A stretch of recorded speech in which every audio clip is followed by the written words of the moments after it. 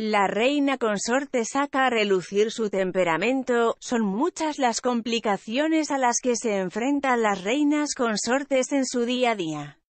Sin embargo, hay un tema que se coloca en el podio de la lista de cómo ganarse enemigos, el momento en que dejan salir a la luz su verdadera personalidad, fundamentalmente si no se dejan llevar por las acartonadas normas del protocolo. La reina Leticia ha sido víctima y también victimaria de esa premisa, y el rey Felipe es testigo. Es ampliamente conocido que la monarquía es una institución patriarcal.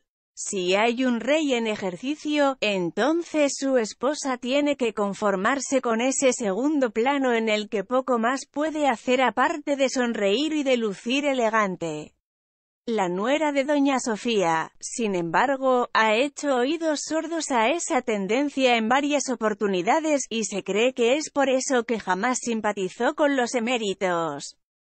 Más de una vez hemos visto a la madre de la princesa Leonor exponiendo públicamente sus pareceres y hasta mandando a leer a una señora que le recomendó que hiciera algo con sus canas. En las últimas horas tuvo lugar una situación en la que nuevamente la periodista demostró su fortaleza.